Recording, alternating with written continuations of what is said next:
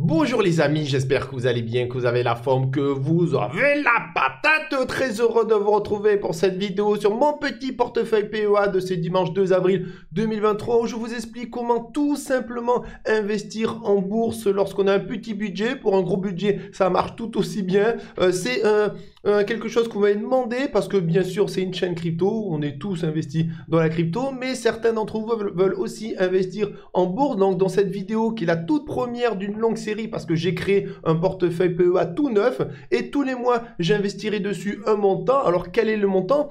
Tout simplement on avait attrapé un article que je vous avais montré euh, il y a quelques temps euh, sur euh, tout simplement radin.com avec une étude menée par l'institut IFOP pour mon petit placement qui révèle que les Français épargnent en moyenne 400 euros par mois. Alors attention, c'est les Français qui arrivent à épargner. Par exemple là, ça fait partie des 46% des Français interrogés qui indiquent pouvoir mettre de l'argent de côté. Et parmi ces Français qui arrivent à mettre de l'argent de côté, euh, ils mettent en moyenne 400 euros par mois. Donc, voyant euh, ce petit euh, sondage, cette petite étude qui est arrivée il n'y a pas longtemps, fin 2022, il y a trois mois à peu près, je me suis dit, on va se mettre à la place d'un Français moyen qui met 400 euros par mois et qui voudra mettre la moitié de cet argent, donc 200 euros en crypto. C'est pour ça que j'ai créé une série de vidéos qui a commencé avec nouveau portefeuille crypto DCA pour 2023 et plus. Je te mets le lien en description. Et avec cette deuxième partie de cette épargne, donc 200 euros, euh, j'ai créé un portefeuille PEA pour mettre à la place d'un Français qui veut aussi investir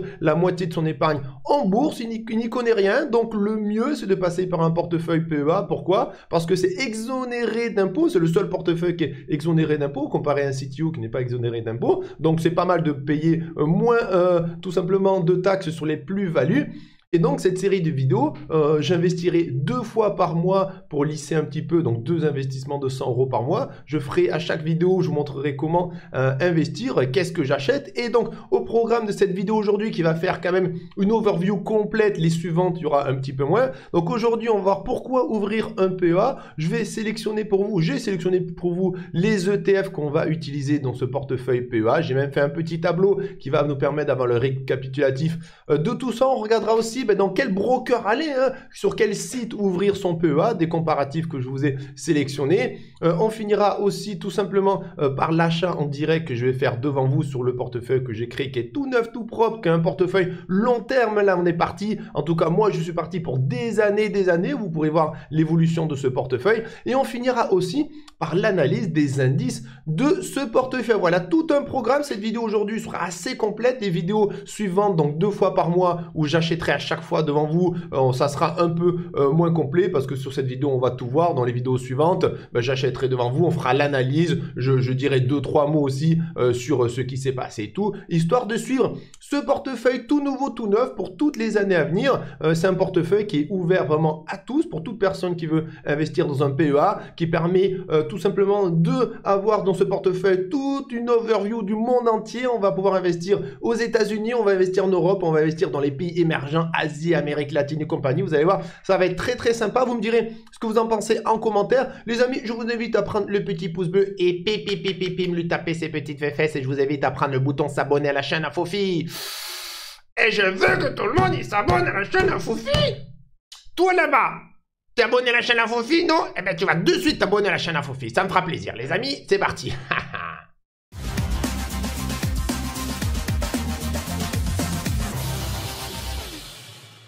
Les amis, tout d'abord, première question, mais pourquoi investir dans un PEA et euh, pourquoi ne pas aller par exemple dans un CTO Alors, un PEA, ça permet d'investir tout simplement en bourse. Alors, il existe aussi des comptes titres ordinaires, ces CTO, qui permettent d'investir aussi en bourse. Déjà, pourquoi investir en bourse? Alors, bien sûr, euh, si tu regardes la chaîne, c'est que tu investis dans les cryptos, parce qu'au départ, je suis une chaîne crypto monnaie même si moi, depuis des années, je suis en crypto et aussi en bourse, parce que je trouve personnellement qu'il faut être diversifié. Les cryptos, c'est bien, tout ce que tu veux, mais ce n'est pas, on peut pas tout mettre dans dans un seul actif, il faut diversifier et mettre en plus dans euh, la bourse qui permet de, s'ouvrir à toutes les entreprises du monde. Pour moi, c'est quelque chose d'indispensable, mais c'est quelque chose euh, que je pense moi-même, c'est mon avis personnel. Et donc, un investisseur qui a un portefeuille crypto et un portefeuille boursier, déjà, je pense euh, qu'il a une grosse overview de, de l'investissement monde. Après, bien sûr, tu as, l'immobilier, tu vas voir aussi le marché obligataire et compagnie.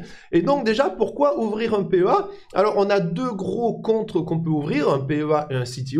Euh, la différence, en gros, je vais te montrer les avantages et les inconvénients, c'est qu'un CTO, c'est un compte ordinaire, c'est que tu peux euh, euh, investir dans toutes les actions du monde. Dans ton CTO, tu peux investir dans du Apple, du Amazon, des actions de tous les pays. Par contre, un PEA, non. Un PEA, normalement, c'est Europe. Au départ, le PEA, tu peux investir que dans des actions européennes. Mais depuis quelques années, il est possible via un PEA d'investir dans des indices monde grâce à des réplications et là ça change toute la donne. C'est pour ça qu'avec un PEA tu peux faire des trucs énormes euh, que tu peux faire pareil avec un CTO, tu vois. Je vais rentrer un peu plus dans les détails. Et donc le, CTO lui, tu peux investir sur tout ce qui existe à peu près dans le monde, euh, tu as, des, accès aux places boursières internationales, tu n'as aucun plafond de versement euh, parce que pour le, le, PEA, tu as un plafond de versement à 150 000 euros. Et le PEA, pourquoi on y va, c'est surtout la fiscalité avantageuse, tout simplement. Je vais t'en dire un peu plus juste après. L'inconvénient du CTO, c'est qu'il n'y a pas d'avantages fiscaux. Tes plus-values, tu prends 30% dans les dents comme tes cryptos. Euh, lorsque tu récupères du pognon, euh, que ce soit de tes actions en bourse, de ton PEA, de ton CTO, ce que tu veux, ou de tes cryptos, tu dois payer 30%, c'est la flat tax. Tandis que avec un PEA, ce n'est plus 30%, ça tombe à 17%. Et donc le PEA, l'inconvénient, on a un plafond de versement de 150 000 euros. Tu peux pas mettre plus de 150 000 euros sur un PEA et c'est un seul PEA par personne. Moi, par exemple, j'ai un PEA perso que j'ai depuis des années et le PEA tout neuf que j'ai créé, c'est euh, au nom de ma femme. Voilà, pour ceux qui sont un petit peu curieux. Et donc, euh, la fiscalité, c'est qu'au bout de 5 ans, ben, on est exonéré euh, tout simplement euh, d'impôts, je vais te dire ça un peu plus en détail juste après, et que, tandis que sur le CTO, tu te manges tes 30%. Alors là, on te dit, voilà, le PEA, c'est 150 000 euros maximum par an. Après, tu peux créer aussi un PEA, PME, tout ça, on verra plus tard. Donc, c'est moins flexible. le PEA, dit, il est moins flexible que le CTO, parce que le PEA, tu peux pas aller, par exemple, tu peux pas acheter du Amazon, du Disney, et tout, des actions internationales, mais nous, on va euh, acheter des ETF, des indices qui vont couvrir le monde entier dans ce petit euh, PEA. Et donc, au niveau de la fiscalité, euh, le PEA, au bout de 5 ans, tu payes que 17,2% d'impôts de, sur tes plus-values. en 25 ans, c'est 30%, tandis qu'un CTO, c'est 30% tout le temps. Et là, on, nous dit que le nombre de titres disponibles pour le PEA, c'est des actions et des ETF européens, et pour le, le CTO, c'est des titres financiers, des ETF du monde entier. Mais Là où c'est beau, c'est qu'avec un PEA, tu peux aussi investir sur des indices du monde entier comme l'SP500, que je t'en parle à peu près euh, tout le temps, euh, du Nasdaq, tu vois, des indices 100% américains. Grâce au PEA, tu peux maintenant investir sur des indices 100% asiatiques. Tu peux investir indice japonais, indice de l'Amérique du Sud, du Brésil, d'où tu veux. Et oui, tu peux faire ça maintenant avec un PEA grâce à des indices synthétiques. On va voir ça euh, de suite. Donc voilà le gros avantage en gros de l'EPA. Pourquoi moi, un PEA, pardon, pourquoi moi j'ai un PEA personnellement? Parce que c'est l'exemple exonération d'impôts, ben, tu payes 13% de moins. Et quand tu, parles de 5 chiffres, voire 6 chiffres, t'inquiète pas que c'est des dizaines de milliers d'euros que ça te, fait, ça te fait économiser au bout de 5 ans. Ouvrir un PEA, c'est pour du long terme, tout pas un PEA pour prendre des profits dans un an. Un PEA, ça doit être quelque chose pour limiter la retraite ou dans 10 ans, 15 ans, si vraiment tu as besoin d'argent. Et donc, c'est pour ça que cette exonération d'impôts, elle est gigantesque et elle écrase totalement, pour moi en tout cas, euh, les avantages d'un CTO ou juste un CTO, ben, tu peux euh, investir sur des actions d'une entreprise, faire du stock picking, donc prendre du Amazon, du Apple, du Disney, du Microsoft et tout. Mais nous, on s'en fout complètement. Donc voilà pourquoi euh, rentrer sur un PEA et ouvrir un PEA le plus tôt possible, même si tu n'as pas grand chose dessus. Pourquoi? Parce qu'au bout de 5 ans, tu exonéré. Donc autant commencer tôt, autant l'ouvrir tôt le PEA. Et la suite, c'est quoi? C'est que j'ai sélectionné pour vous les indices, les ETF qu'on va acheter. Alors dans ce PEA, on va pas tout simplement faire du stock picking, c'est-à-dire comme les cryptos, on va avoir une entreprise, est-ce qu'elle est bien, on va acheter ça, on va acheter 200, on va acheter du LVMH, on va acheter, je sais pas moi, de l'entreprise que tu veux, comme si tu allais prendre un peu de, de Disney, l'entreprise McDo, voilà, c'est du PA, c'est Europe, donc euh, ça marche pas. Donc euh, plutôt euh, le but de cette vidéo c'est pour un investisseur débutant de pouvoir acheter facilement son PEA en 5 minutes par mois, faire 3 clics et ça y est c'est fini. Et pas s'embêter à s'acheter plein d'actions, allez on va acheter du Renault, on va acheter du machin, alors qu'est-ce qu'on fait maintenant? Oh le bilan de Renault il est pas bon, zut je vais le revendre, LVMH, oh LVMH le bilan il est bien, allez je vais acheter plus parce que ça risque de monter. Non, le but c'est de pas s'embêter, le but c'est de s'embêter le moins possible, d'avoir un portefeuille où on décide à tous les mois le même montant, ce que je vais vous montrer ce que je vais faire et on regardera ça dans 10, 15 ans ce portefeuille. Et là, en gros, quelqu'un qui veut pas s'embêter, donc j'ai sélectionné des ETF tout simplement pour vous, quelqu'un qui ne veut pas s'embêter du tout, le truc le plus simple possible, il ira acheter dans son petit PEA un ETF qui s'appelle l'Amundi MSI World. C'est un ETF qui rassemble à peu près euh, le monde entier dedans. Donc euh, le signe c'est CW8, CW8. En gros, le seul problème de, ce, de cet ETF là, pourquoi nous on va pas l'utiliser? Parce que euh, une action de cet ETF, je vais appeler ça une action, c'est 392,36. Donc déjà, nous on a un budget de 200 euros par mois pour notre PEA parce que c'est tout simplement ce que met un Français moyen, en tout cas la moitié de ce que met moyen, un Français moyen. Donc là, 392, c'est beaucoup trop cher. Ça ne nous intéresse pas, mais c'est pour quelqu'un qui a un budget un peu plus gros, qui veut ouvrir son PEA et ne pas s'embêter, mais alors du tout, là, c'est vraiment le meilleur ETF. 392 euros à peu près. Un cours sous gestion de 2800, de 2 milliards 308 millions. Donc il y a du pognon dans cet ETF. Des frais très bas, 0,38%. Il est à capitalisation, c'est-à-dire il n'y a pas de dividendes qui sont lâchés. Ça, c'est réinjecté, réinjecté euh, dans l'ETF. Et puis on peut voir euh, qu'est-ce qu'il y a dans cet ETF. Je vais descendre. Il y a à peu près 1509 entreprises dans cet ETF. Donc ça couvre le monde entier. C'est simple. En gros, si tu connais pas ETF, si c'est un mot, ça te parle pas, ETF indice, c'est le même nom. Ça regroupe quelque chose où dedans, il y a beaucoup d'actions. Par exemple, ici, dans cet ETF MSI World, à l'intérieur, il y a 1509 actions. Donc, au lieu de t'embêter à aller chercher une action par-ci, chercher une entreprise, dans quoi j'investis, c'est comme les cryptos, dans quelle, dans euh, dans quelle euh, crypto j'investis, dans quelle euh, équipe j'investis, c'est chiant à faire, à stocker dans quelle crypto, aller chercher tout. Là, maintenant, dans les cryptos, ça existe. Allez, oui, il y a le YFI One et tout, bon. Mais là, au niveau de la bourse, avec, en achetant juste un truc, par exemple, cet MSI World à 392 euros, tu investis d'un coup sur 1500 entreprises. Donc, tu es diversifié à mort et tu t'emmerdes pas. Et on te dit quoi? Voilà, on te dit que tu as 22% à peu près de TF, c'est de la, des entreprises de technologie de l'information, 13% c'est de la santé, 13% c'est des, industries sur la finance, 10% c'est de l'industrie, tu as des biens de consommation cyclique et durable, tu as de la communication, de l'énergie. Et donc, on te dit, voilà, sur cet ETF-là, quand tu l'achètes, tu investis à 67% aux États-Unis, 6% au Japon, 4% au Royaume-Uni, 3% en France. Donc vraiment un ETF World, c'est la manière la plus simple possible pour quelqu'un qui veut ouvrir un PEA et investir dedans. Il y a un deuxième ETF World aussi, c'est le Lixor PEA Monde, EWLD. Euh, e Lui, il coûte pas cher, 23,7 euros. Alors l'encours sous gestion est beaucoup plus petit. Euh, ici, le Amundi, il était à peu près de 2 milliards et quelques. Euh, c'est tout simplement l'argent qu'il y a dedans, c'est le marché market cap, en gros, tu vois, c'est la, TVL, si tu veux, euh, si, je parle crypto. Tandis que là, c'est beaucoup plus petit, c'est 156 millions. Donc lui, il est tout rikiki, mais il coûte que 23,7 euh, euros. Et c'est exactement pareil, en payant 23 euros, tu investis directement à chaque fois sur 1509 entreprises, et c'est exactement pareil. Beaucoup d'entreprises aux États-Unis, un peu Japon, Royaume-Uni, France, c'est vraiment le monde entier avec euh, tous les mêmes secteurs. Donc là, vraiment, pour quelqu'un qui veut pas s'embêter du tout, il peut acheter ou le euh, ici le Lixor PEA Monde qui s'appelle EWLD. Je vous montrer comment on achète juste après. Ou alors quelqu'un qui a un peu plus de sous, vaut mieux aller sur le Amundi MSI World parce qu'il a un encours sous gestion beaucoup plus gros tout simplement. Et au niveau du frais, même ici le Lixor, il y a un peu plus de frais, 0,45% par an, c'est les frais qu'on te prend. Bon, c'est que dalle, mais c'est comme ça. Donc quelqu'un qui veut pas s'embêter avec un PEA, il peut partir sur la maudite MSI World. Alors pourquoi dans ce petit portefeuille PEA tout neuf que j'ai créé à partir de maintenant pour euh, les années à venir, je ne vais pas faire du, du, euh, prendre le Lixor PEA Monde J'aurais pu, parce qu'avec 200 euros par mois, on peut prendre quasi les 10 actions euh, de, du Lixor PEA Monde, parce que ces types de TF là, ils sont beaucoup exposés aux États-Unis, tu vois, grosse exposition aux États-Unis après le Japon, Royaume-Uni, France. Et donc moi, dans ce petit, nos petits PEA qu'on va faire maintenant, on va prendre plutôt un ETF des États-Unis, un ETF Europe et un ETF euh, Emerging Market, tu vas voir ça, euh, tout simplement pour essayer euh, de pondérer un petit peu comme on veut. Le fait de, prendre trois ETF, comme je vais te montrer de suite, un qui regroupe tous les États-Unis, l'autre qui regroupe tout l'Europe et l'autre tous les pays émergents, donc Amérique latine, Afrique et Asie, ça permettra de pondérer comme on veut. Parce que là, par exemple, si tu prends un ETF World, tu es à 68% quasi aux États-Unis, tu n'as pas le choix. Tandis qu'avec trois petits ETF, comme je vais te montrer aux petits oignons, là, on pourra se dire, allez, on peut mettre 50% aux États-Unis, 30% en Europe, 20% mais, et pour les marchés émergents et compagnie.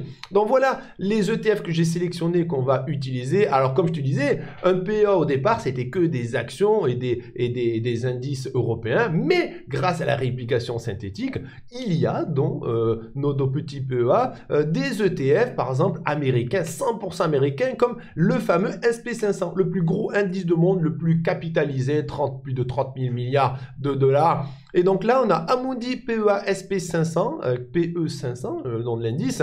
Euh, on a, il coûte 30,05 euros, en cours sous gestion de 777 millions, c'est très bien. Frais courants extrêmement petits, 0,15 c'est extrêmement bas, c'est un ETF ici à capitalisation. Et donc, si tu regardes, c'est un ETF qui est 100% américain. Euh, voilà, 100% américain. Lorsque tu achètes l'SP500, euh, tu, euh, tu es, exposé à 503 entreprises. Donc, en gros, quand tu achètes pour 30 euros une action de cet ETF, c'est comme si tu achetais un bout de ces 503 entreprises. C'est quoi ces 503 entreprises? Eh ben, C'est du Apple, du Apple, du Microsoft, du Amazon, du Nvidia, Alphabet, Google et compagnie. Et on te dit, voilà, l'SP500, c'est 29% de la technologie de l'information, 14% santé, 10% biens de, consommation, euh, de consommation cyclique, 10% finance, 8% industrie, compagnie, compagnie. Donc ça, l'SP500, c'est un ETF de base à quasi obligatoire à mettre. Après, ce que je te dis dans la vidéo d'aujourd'hui, c'est ce que je pense moi, d'accord Donc là, l'SP500, il va rentrer dedans. Alors, il y a un petit peu mieux, à mon, à mon sens, que la Moody euh, PEA SP500. C'est le BNP Paribas qui, pareil, qui propose un indice SP500 pour les PEA. Et pourquoi je préfère lui euh, Tout simplement parce qu'il est moins cher. Ici, la Mundi, c'est 30 euros. Et nous, on est petit budget. C'est 200 euros par mois. Donc, d'avoir quelque chose de moins cher, ça permettra une plus grosse flexibilité. Et l'encours sous gestion ici, il est de 777 millions. Tandis que le BNP Paribas, c'est 1448 millions. C'est un milliard et demi, si tu veux. Donc, en gros, le fait qu'il soit moins cher, il y a plus d'encours sous gestion, ça me va très bien. Et en plus, euh, je vais te montrer ça. Euh, il, est, il a aussi des frais très bas de pareil, de voilà, 0,15% comme l'autre. Donc en gros, les deux, ils font à peu près la même chose. Le BNP Paribas, il est moins cher, il est plus capitalisé. Donc, premier ETF sur lequel je vais mettre ce PEA, ça va être ce BNP Paribas, ici, euh, le Easy S&P 500. Maintenant, on va prendre un ETF Europe, tout simplement. Donc on a dit on va faire une partie euh, États-Unis, une partie Europe et une, une partie pays émergents. Donc un qui est très connu, c'est la Mundi PEA MSI Europe. Le MSI Europe, c'est un des indices les plus connus euh, pour l'Europe. Ici, tu peux voir qu'il coûte à peu près 25 euros, 313 millions de dollars sous gestion, des frais courants extrêmement bas, 0,15%. Euh, dedans, il y a du Nestlé, du ASML, du Novo LVMH, voilà, tu connais du Roche et compagnie, tous les trucs de luxe, c'est méga cher. Dedans, il y a 424 entreprises dans cette MSI Europe. Donc tu c'est un petit peu l'équivalent de l'SP500, ce MSI Europe, où en gros, en achetant une seule action de cet ETF, tu investis sur 424 entreprises. C'est ça la magie de l'ETF, c'est ça qui est magnifique. Et tu peux voir que dedans, tu as 22% au Royaume-Uni, 18% France, 15% Suisse, 13% Allemagne, 6% Pays-Bas, Suède, Danemark et compagnie. Et tu as de la finance en premier, 16%, de la santé, 15%, industrie, 14%, des biens de consommation et compagnie. Ça te dit tout ça en détail. Donc celui-là, il est, c'est sûr, il est vraiment très bien, il coûte 25 euros, on pourrait le prendre, mais moi je préfère un autre c'est celui de BNP Paribas qui est très connu. C'est euh, tout simplement le BNP Paribas Eurostock 600. L'Eurostock 600, c'est un peu aussi la référence euh, euh, européenne. Le MSI Europe aussi, hein, entre les deux. Bon, c'est selon ce qu'on préfère. Il n'y a pas énorme différence, surtout pour du très long terme. Moi, j'ai une petite, petit, petit, je préfère ce BNP Paribas ici. L'Eurostock 600. Donc en gros, l'Eurostock 600, euh, il a une encours sous gestion de 726 millions d'euros, c'est très bien. Il est pas cher du tout, c'est 13 euros. Tout simplement, avec 13 euros, tu investis sur 600 euh, entreprises européennes qui font partie des grosses caps et des mid caps. Donc c'est extrêmement, euh, extrêmement intéressant. On peut voir qu'il y a des frais aussi extrêmement bas, 0,21%. Et puis écoute, je trouve ça très bien. On peut voir aussi les performances. Les performances, par exemple, sur 3 ans, c'est 9,60 68%. Donc la bourse en moyenne, c'est 10% par an. Si tu prends l'SP500, bah lui, tu vois, c'est 13%. C'est déjà plus gros l'SP500. Et là, ce que sur 3 ans, si on prend sur 10 ans, c'est limite un peu gros. Donc voilà pour l'instant, premier ETF, ça sera l'SP500. Deuxième ETF sur lequel je vais investir, c'est l'Eurostock 600. Avec ça, on couvre tous les États-Unis, on couvre tout l'Europe. Et qu'est-ce qui reste? Les pays émergents. Donc pour ça, on a un premier ETF e qui s'appelle le Lamundi MSI Emerging Market. Il coûte pas cher, 20 euros et quelques, 347 millions sous gestion, des petits frais par an, ça, ça nous va très bien. Et dedans, tu peux voir que, alors je vais direct, on va regarder les pays, tu as 32%, tu investis 32% en Chine parce que tu investis directement sur 1379 entreprises émergentes, enfin de pays émergents. Donc en achetant seulement euh, ici 20 euros de cet indice-là, donc une action de tu investis sur 1379. Donc diversifié à mort. Et on peut voir que donc c'est de la Chine, du Taïwan, Inde, Corée du Sud, Brésil, Arabie Saoudite, Afrique du Sud. Tu peux voir sur la carte tout ce qui est en bleu, cet ETF, il investit là-dedans. Donc avec notre premier ETF, on est investi sur toute l'Amérique. Notre deuxième ETF, on a investi sur toute l'Europe. Et notre troisième ETF, on va être investi sur tous les marchés émergents, comme tu peux voir ici. Donc, on couvre vraiment la planète entière. Alors, bien sûr, il y en a qui vont dire, euh, on va vite, t'as pas l'Australie, t'as pas la Russie, tout, mais on s'en fout un peu de ça. Et donc, et donc, en gros, là, tu peux voir que avec euh, cet ETF-là, tu, tu investis dans tous les pays émergents et dedans, tu as 20% de finances, 20% de technologie de l'information, 13% de biens consommation, consommation c'est clé, pardon, je bafouille, 10% services de consommation, et euh, après, répartition de devises. Ok, ça nous va. Donc celui-là, il est très bien. Mais il y en a un deuxième qui est pas trop mal aussi. Euh, je vais te montrer. C'est le Amundi PEA Emerging Asia. Donc lui, la seule différence, je vais te montrer la, la map ici, c'est que tu investis que sur l'Asie. Regarde, le Emerging ici, Market, tu es investi euh, je vais te montrer, voilà, sur l'Asie, mais tu vois l'Arabie Saoudite, l'Afrique et l'Amérique latine, tandis que celui-là, tu que sur l'Asie. Donc là, vraiment, ça dépend des préférences de chacun. Les deux sont des marchés un peu euh, émergents, donc on ne sait pas ce qu'ils vont donner dans le futur, mais je pense que c'est extrêmement important d'avoir une part euh, de market dans son portefeuille. En gros, euh, moi, je vais plutôt sélectionner celui-là euh, parce qu'on est petit budget et qu'on veut couvrir un peu le monde entier. C'est plus tu es diversifié, plus tu couvres le monde entier, plus c'est safe. Voilà, moi, de mon PEA personnel, j'ai plutôt le Asie ici parce que lorsque tu commences à avoir un montant beaucoup plus gros et tu regardes un peu ce que fait l'Amérique latine, sur ces dernières années, ça donnait moins envie. Mais sur le là, j'ai plutôt envie d'essayer celui-là. Plutôt envie d'essayer celui-là. Donc, on couvre vraiment la Chine, Taïwan, Corée du Sud, tu vois, le Brésil, l'Arabie Saoudite l'Afrique du Sud, le Mexique. Et celui-là, il est vraiment bien aussi. Donc voilà les trois ETF qu'on va utiliser, l'SP500, l'Eurostock 600 et pour finir, le euh, Emerging Market. J'ai fait un petit tableau qui va nous permettre euh, de suivre aussi euh, avec toutes les vidéos qui vont arriver bon, ben, deux fois par mois, une tous les 15 jours quand je vais acheter devant vous. On mettra ce tableau euh, tout simplement à jour, on verra un peu les variations de tout ça. Donc ce tableau, je l'ai créé, on va le garder de côté. Maintenant qu'on a vu pourquoi on fait un PEA, parce que c'est trop bien et il faut le faire, je pense que c'est extrêmement important pour quelqu'un qui veut investir pour sa retraite, même avec des petits montants, tu vois. On a vu dans quoi investir pour couvrir le monde entier avec seulement 3 ETF ça va prendre 5 minutes à cliquer par mois juste pour acheter ça, ça va être très facile. Maintenant, la troisième question, c'est euh, dans quel broker aller, c'est-à-dire quel site internet, si tu veux, euh, aller pour ouvrir ce PEA, à qui tu vas donner ton pognon? Alors bien sûr, tu en as beaucoup, ceux qui euh, ressortent un peu, c'est Fortuneo, Bourse Direct, Before Bank, Boursorama, et tu en as plein d'autres. Je t'ai montré deux comparatifs. Euh, moi, je te dirai sur lequel je suis après. Moi, quand j'ai voulu chercher mon, euh, mon broker pour mon PEA, j'ai pris le moins cher. Je suis amoureux de personne. Je m'en foutais chez qui aller. Je suis pas resté chez ma banque parce que dans une banque, ta banque traditionnelle, tu auras des frais énormes. Euh, renseigne-toi sur tes frais. C'est limite, c'est limite, c'est limite. je vais pas dire le mot. C'est atroce. Voilà, c'est vraiment atroce. C'est de l'abus. C'est de l'abus total. Donc là, on peut voir qu'entre Fortunio, Bourse Direct, Before Bank, Boursorama et les autres, ceux qui se démarquent, c'est Boursorama et Bourse Direct, d'accord? On peut voir que, euh, alors, dépôt minimum, Bourse Direct, c'est 1 euro, Boursorama, c'est un peu plus, mais bon, ça, allez, pourquoi pas, on s'en fiche qui compte, c'est les frais. À chaque fois qu'on va acheter une action ou une action d'une entreprise ou une action d'un indice, si tu veux, d'un ETF, ça va coûter des petits frais. Lorsque, euh, pour Bourse Direct, par exemple, euh, on va acheter euh, quelque chose pour moins de 500 euros, ça va nous coûter 0,50%, 0,99% maximum. Pour Boursorama, c'est pareil. C'est la même chose. Très bien. Par contre, là où ça se corse, c'est pour les ordres supérieurs à 500 euros. Bourse Direct, c'est des montants fixes. Boursorama, c'est quasi à chaque fois, c'est tout le temps même 0,5%. Et 0,5% de 500 euros, c'est 2,50 euros. Bourse Direct est moins cher. Et 0,5% de 1000 euros, c'est 5 euros. Bourse Direct est moins cher. Alors, t'imagines les montants plus hauts. Euh, donc, Boursorama, en termes de frais, est plus cher que Bourse Direct, tout simplement.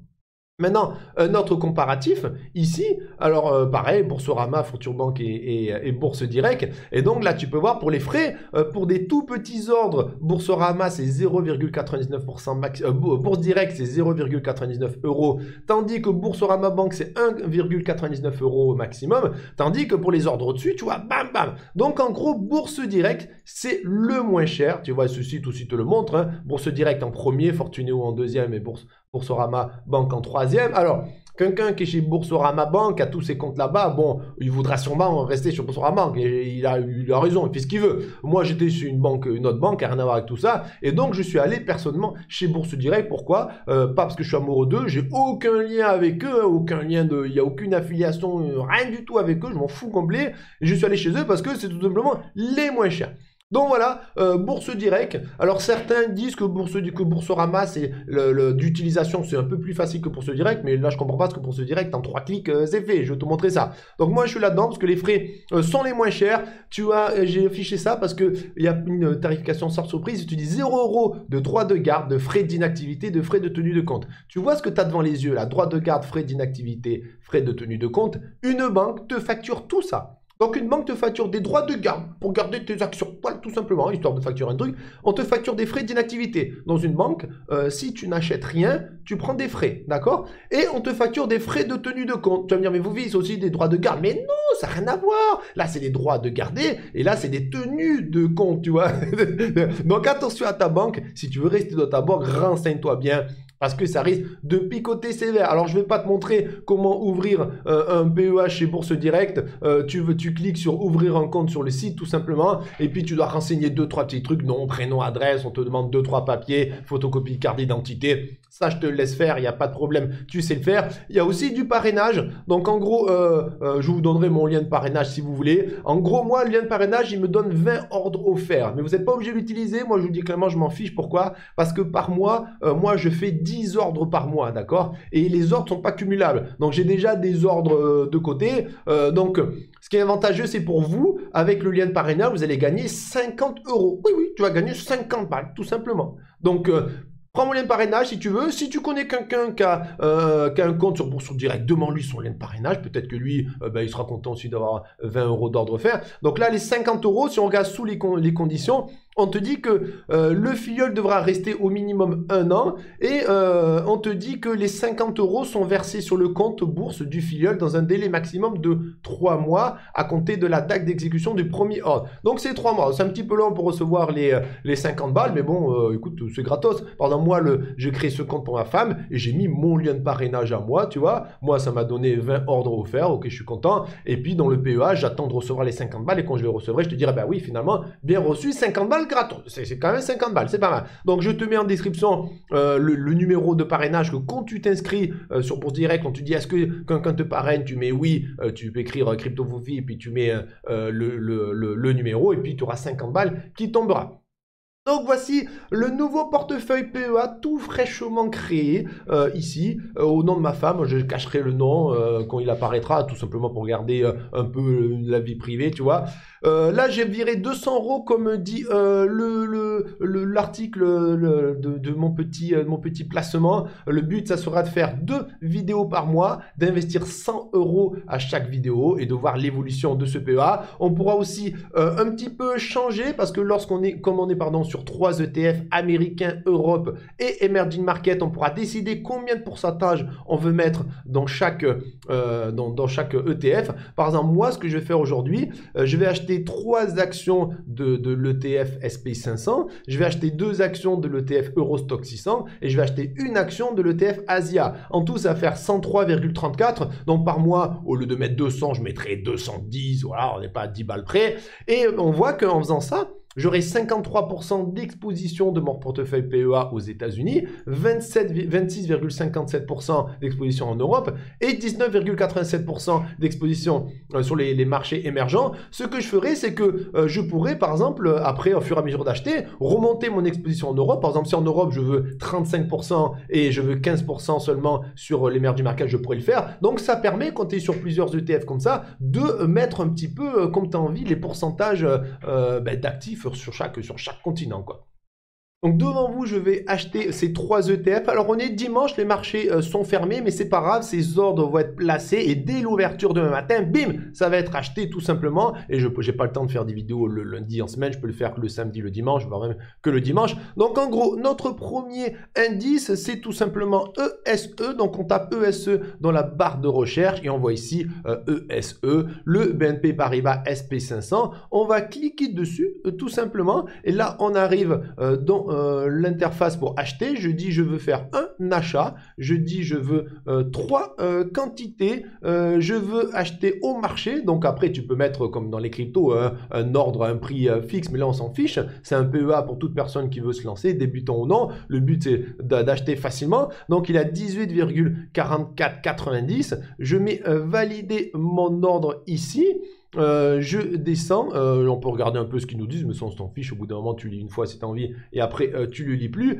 tu mets ici, on voit que voilà, ça te met une, un résumé, donc 3, tout simplement quantité 3, on te dit voilà, c'est le total c'est 55,35, et on te dit voilà le coût lié au service, donc 0,28 centimes, soit 0,51%. Donc les frais estimés c'est 36 centimes tout simplement sur 55,35 euros ça nous va très bien. Et là maintenant, qu'est-ce que je fais? Je fais confirmer l'ordre et hop, ça y est, j'ai acheté euh, tout simplement mes trois actions de l'SP500. Euh, maintenant, notre deuxième ETF, euh, e c'est ici.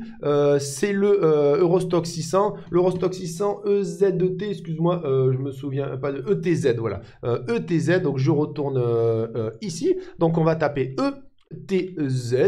ETZ, il est où Il est là. Voilà, BNP Paribas, Euro, Stock Europe. Bim, on clique dessus. Euh, je vais acheter deux euh, actions de cette ETF. Donc, je mets achat, je mets quantité 2, euh, je mets au marché. Donc, je veux, l'acheter au prix du marché, 13,728. Hein, je vais valider mon ordre. des risques sont associés, tout ça. Quand tu investis en bourse, bon, ils sont obligés de mettre ce disclaimer, comme d'habitude. Là, le résumé. Donc, quantité 2, tout simplement, au marché. 27,46, c'est ce que va me coûter les deux. Euh, il y aura 20 euh, centimes de frais, tout simplement, et je fais confirmer mon ordre. Voilà, très bien. Et maintenant, je vais acheter euh, le dernier. Le dernier, c'est le PAEEM. Voilà, j'en ai, excuse-moi, je ne connais pas tous par cœur, j'en ai tellement, mais je pense à fort de faire les vidéos PAEEM. Euh, est-ce qu'il va nous faire? Voilà, Amundi UTFPEA Emerging Market, c'est exactement lui. Et lui, je vais acheter euh, une seule action, non, achat, hop, une action. Euh, je mets ici au marché, valider mon ordre. Et le petit disclaimer, il n'y a pas de problème. voilà, là, on me dit pour 20 euros, centimes, j'aurai 14 centimes de frais, pas de problème. Je mets valider mon ordre. Et voilà les amis, euh, maintenant euh, on a acheté bah, les trois. Euh, si on fait mon compte ici et qu'on va dans ma liste personnelle, hop, on peut voir que ben, tout simplement, non, c'est pas ma liste personnelle, je dis des bêtises, c'est mon portefeuille. On clique dans mon portefeuille, voilà, exactement ici, et on peut voir que ben, tout simplement, on a acheté les ordres là. Voilà, on a trois quantités du BNP SP500 ETF, on a deux quantités de l'Eurostock 600, on a une quantité de l'Emerging Market, du TF Emerging Market, et ben voilà, donc le portefeuille pour l'instant il est 4,200, parce que les ordres être, vont tomber demain à l'ouverture du marché puis euh, voilà, tout simplement, en trois clics, on a commencé à investir dans un PEA pour le long terme, pour la retraite, et c'est quelque chose de vraiment intéressant, je pense même euh, d'obligatoire entre nous. Après ça, c'est mon avis personnel. Et pour finir la vidéo, les amis, on va analyser maintenant ces trois indices. Donc là, on a euh, notre SP500 de chez BNP Paribas spécial PEA qui fait depuis trois semaines une des belles bougies vertes. Hein. La bougie de cette semaine est extrêmement boule. Elle a cassé la Tincan au 18,23, elle a cassé la Kijun ici au 18,29. Elle se dirige vers les moyennes mobiles 50 et 100 weekly qui sont 18,56 dollars. Et si jamais il arrive à casser ses moyennes mobiles, qu'il arrive à chercher le nuage Shimoku et passer au-dessus du nuage, il ira chercher les 19,12 et casser les 19,12 euros. C'est direction un petit to the moon. Maintenant, si jamais il fait du rouge les semaines qui arrivent et il perd la Tenkan, il passe sous les 18,22. Là, il ira tâter la bande de Bollinger inférieure aux 17,37 dollars. Et s'il pète les 17,35, ça sera direction les enfers. Si on regarde le RSI, il a passé les 50, c'est très bullish. Et puis les boules euh, ont repris le momentum en main ici. Donc nous, on s'en fiche un peu que ça parte to the moon, to the enfer. On est sur un DCA sur plusieurs années. On suit le cours qui monte ou qui descend. Maintenant, si on regarde euh, le, euh, notre ETF Eurostock 600, lui c'est pareil, l'Europe extrêmement boule, limite plus boule que les États-Unis euh, depuis pas mal de, de semaines, on va dire pas mal de mois, depuis janvier. La bougie de cette semaine, très bullish, il est passé au-dessus de la Tincan aux 13,36 euros. Maintenant, est-ce qu'il va essayer de s'attaquer aux 14 euros là, passer les 14 euros C'est direction un petit to the moon, un nouvel ATH, hein, genre un, marché européen extrêmement énervé au niveau de la bourse.